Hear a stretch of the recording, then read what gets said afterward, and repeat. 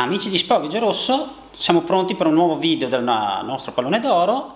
Vi parliamo in questo caso del premio Fair Play. È un premio a cui teniamo molto perché è un premio che diamo tutti gli anni al mm, giocatore, al dirigente, all'allenatore, al personaggio del calcio dilettantistico cremonese che si sia distinto per un atto di grande sportività.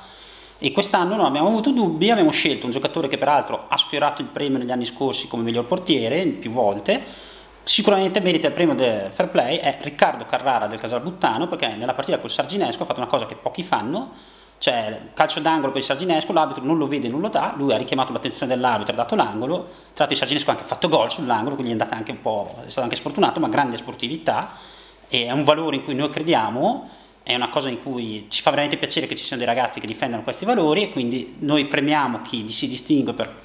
per queste scelte, diciamo, e Riccardo Carrara si merita ampiamente il premio e quindi abbiamo deciso di, di darlo a lui, è assolutamente meritato secondo noi.